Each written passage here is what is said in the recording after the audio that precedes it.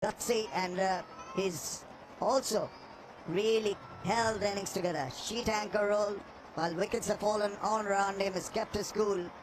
Impressive performance by the Bangladeshi bowlers. Oh my goodness! Shakib Al Hasan! The batter didn't have a clue to that delivery. The drifting